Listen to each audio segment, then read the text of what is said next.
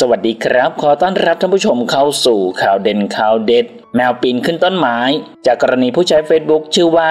เจี๊ยบคาโลเดอเปาลีชิตรีชาว ได้โพสต์เรื่องราวของน้องแมวเพื่อตามหาเจ้าของ โดยพบเจอแมวนั่งอยู่บนต้นไม้ เพราะวิ่งหนีสุนัขที่ไล่ฟัด เข้ามาปีนขึ้นไปบนต้นไม้ ซึ่งพอขึ้นไปก็โดนมดแดงกัดอีก จะลงก็ลงไม่ได้เพราะมีสุนัขอยู่ข้างล่าง น้องก็คงจะกลัว เลยต้องฝืนทนยอมให้มดแดงกัดอยู่บนต้นไม้ เมื่อเห็นแบบนั้นเขาทนไม่ได้จึงไล่สุนัขไป แล้วปีนขึ้นไปช่วยน้องแมวลงมา จับมดแดงออกแล้วฝากคนบริเวณนั้นให้ช่วยดูแล